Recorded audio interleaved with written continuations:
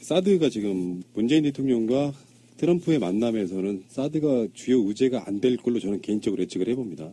음. 서로 불편한 거예요. 그런 얘기를 안 하려고 문재인 대통령은 이미 이제 환경 영향 평가 같은 걸 내려놓은 거라고 보는데 진짜 중요한 얘기가 하나 나와서 한번 얘기 드려볼게요. 페리 전 미 국방부 장관, 윌리엄 페리 전 미국 국방부 장관이 이런 얘기를 했어요. 사드가 북한 미사일 공격에 대한 방어 능력은 효과가 거의 없다. 거의 없다가 아니고 없다. 예, 있을 수 있어. 백발 중에 한 발은 맞을 수 있어. 거의 없다고. 문재인 정부가 원하지 않는다면 사드를 철수해야 된다. 미국의 전 국방장관이 한 얘기입니다. 굉장한 의미가 있다고 봐요. 우리 국민은 다 알고 있는 사실이 이제 유명한 사람이 하니까 그 윌리엄 페리뿐만 아니라 지금 뭐 미국 정가에서 이렇게 외신으로 가끔씩 들어오는 얘기들을 보면 사실 미국에 있는 국회의원들이나 정치인들도 사드가 북핵 용도가 아니고 사실 그 북한 미사일을 막을 수 없다는 거를 너무나 잘 알고 있다는 거예요. 근데 너무 맹종하다시피 미국을 추앙하는 정권이 들어서다 보니까 그 효용성은 생각하지도 않고 그냥 막 팔아먹은 거예요. 지금 이게. 그러니까 어쨌든 이게 아직은 이제 조사가 들어가지 않지만 이거는 미국 우리가 말하면 미국 본토 방어용이라고 했잖아요. 사실은 미국 본토 방어용도 아니야. 그럼 뭐냐?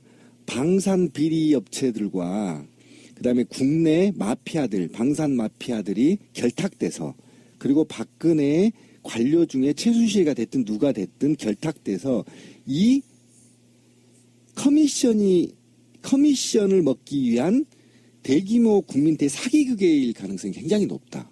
이게. 그러니까 미국에서 사실 관심 없어요. 한번 생각해 보세요. ICBM 개발 거의 성공했거든요.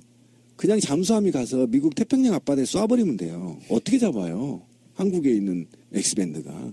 그리고 이게 요격 테스트에서도 사드는 문제가 있다고 밝혀졌고 북한의 가짜탄 같은 거는 방어 능력이 전혀 없다 그래요. 가짜탄을 쌓아서 다 소비하게 만든 다음에 진짜 쏜다는 거예요.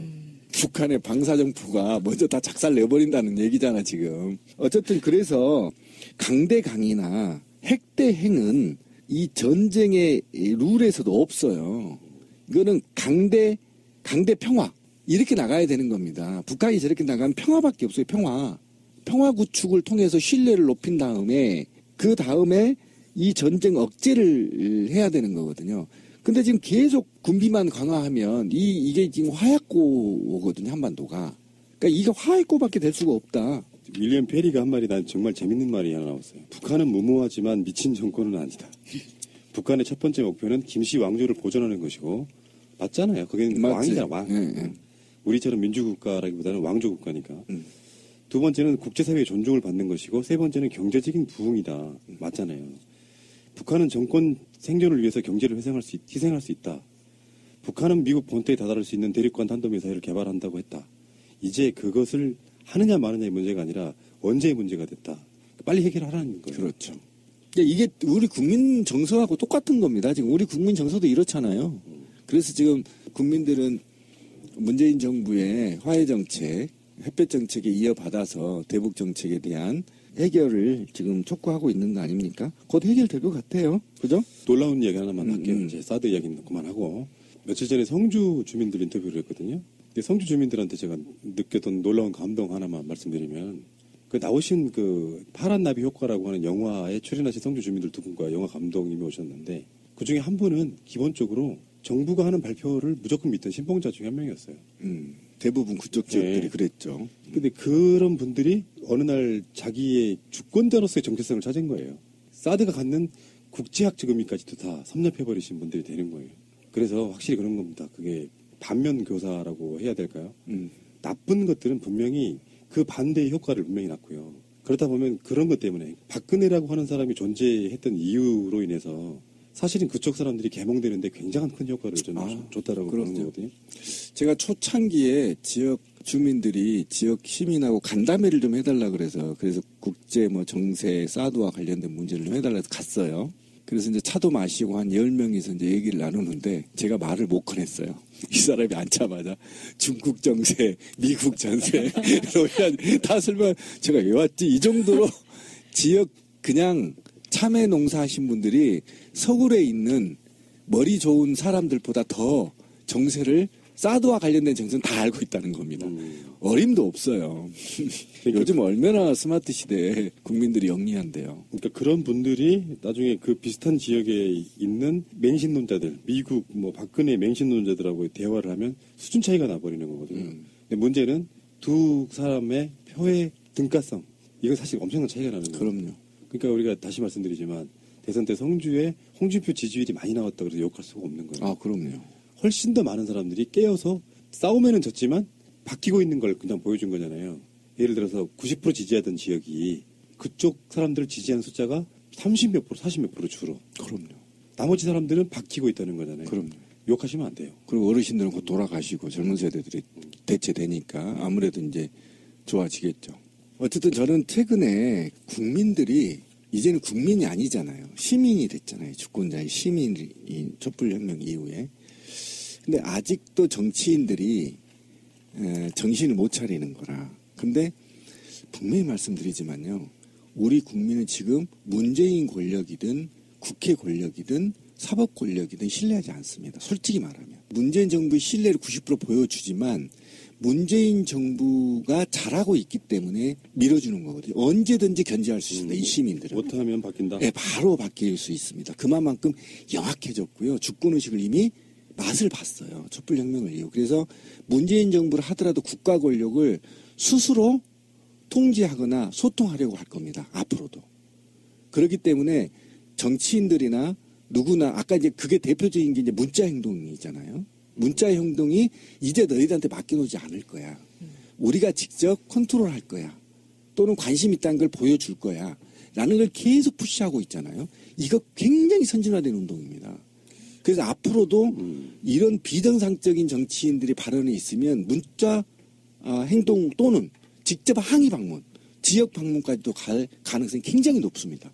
그렇기 때문에 정치인들이 될 수 있으면 정신을 차리고 어, 좀 올바른 나라를 만드는데 여야가 없이 좀 합심했으면 좋겠다. 진절이 나게 해줘야지. 네.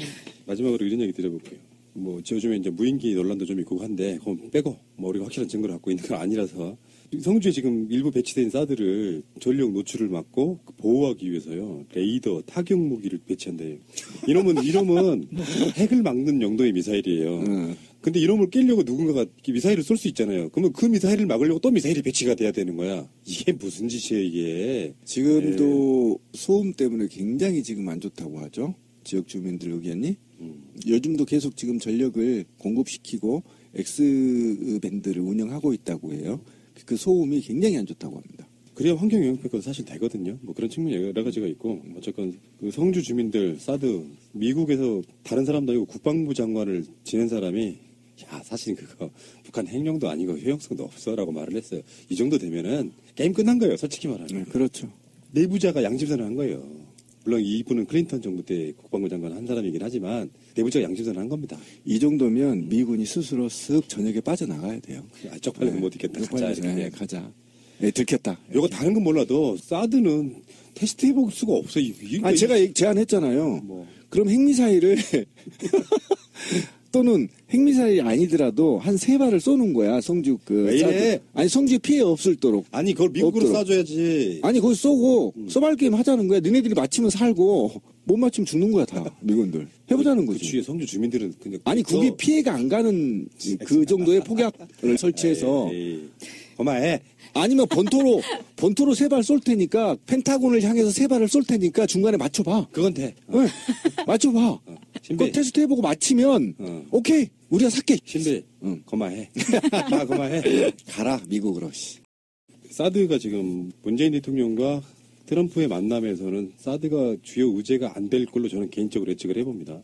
음. 서로 불편한 거예요. 그런 얘기를 안 하려고 문재인 대통령은 이미 이제 환경 영향 평가 같은 걸 내려놓은 거라고 보는데 진짜 중요한 얘기가 하나 나와서 한번 얘기 드려볼게요. 페리 전 미 국방부 장관, 윌리엄 페리 전 미국 국방부 장관이 이런 얘기를 했어요. 사드가 북한 미사일 공격에 대한 방어 능력은 효과가 거의 없다. 어이 없다가 아니고 없다. 예, 있을 수 있어. 백발 중에 한 발은 맞을 수 있어. 거의 없다고. 문재인 정부가 원하지 않는다면 사드를 철수해야 된다. 미국의 전 국방장관이 한 얘기입니다. 굉장한 의미가 있다고 봐요. 우리 국민은 다 알고 있는 사실이 이제 유명한 사람이 하니까 그 윌리엄 페리뿐만 아니라 지금 뭐 미국 정가에서 이렇게 외신으로 가끔씩 들어오는 얘기들을 보면 사실 미국에 있는 국회의원들이나 정치인들도 사드가 북핵 용도가 아니고 사실 그 북한 미사일을 막을 수 없다는 거를 너무나 잘 알고 있다는 거예요. 근데 너무 맹종하다시피 미국을 추앙하는 정권이 들어서다 보니까 그 효용성은 생각하지도 않고 그냥 막 팔아먹은 거예요. 지금 이게. 그러니까 어쨌든 이게 아직은 이제 조사가 들어가지 않지만 이거는 미국 우리가 말하면 미국 본토 방어용이라고 했잖아요. 사실은 미국 본토 방어용도 아니야. 그럼 뭐 보여준 거잖아요. 예를 들어서 90% 지지하던 지역이 그쪽 사람들을 지지하는 숫자가 30몇 프로, 40몇 프로 줄어. 그럼요. 나머지 사람들은 바뀌고 있다는 거잖아요. 그럼요. 욕하시면 안 돼요. 그리고 어르신들은 곧 돌아가시고 젊은 세대들이 대체되니까 아무래도 이제 좋아지겠죠. 어쨌든 저는 최근에 국민들이 이제는 국민이 아니잖아요. 시민이 됐잖아요. 주권자의 시민이 촛불혁명 이후에. 근데 아직도 정치인들이 에, 정신을 못 차리는 거라. 근데 분명히 말씀드리지만요.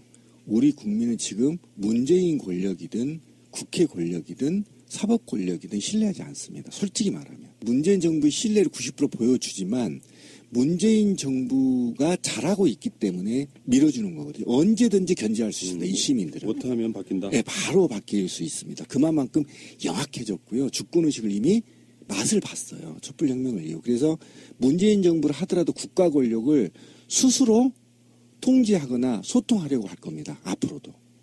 그렇기 때문에 정치인들이나 누구나 아까 이제 그게 대표적인 게 이제 문자 행동이잖아요. 문자 행동이 이제 너희들한테 맡겨놓지 않을 거야. 우리가 직접 컨트롤할 거야. 또는 관심 있다는 걸 보여줄 거야. 라는 걸 계속 푸시하고 있잖아요. 이거 한 말이 난 정말 재밌는 말이 하나 나왔어요. 북한은 무모하지만 미친 정권은 아니다. 북한의 첫 번째 목표는 김씨 왕조를 보존하는 것이고 맞잖아요. 거기는 맞지. 왕이잖아 왕. 예, 예. 우리처럼 민주국가라기보다는 왕조 국가니까. 음. 두 번째는 국제사회의 존중을 받는 것이고 세 번째는 경제적인 부흥이다. 맞잖아요. 북한은 정권 생존을 위해서 경제를 회생할 수, 있- 희생할 수 있다. 북한은 미국 본토에 다다를 수 있는 대륙간 탄도미사일을 개발한다고 했다. 이제 그것을 하느냐 마느냐의 문제가 아니라 언제의 문제가 됐다. 빨리 해결하라는 거예요. 그렇죠. 이게 우리 국민 정서하고 똑같은 겁니다. 지금 우리 국민 정서도 이렇잖아요.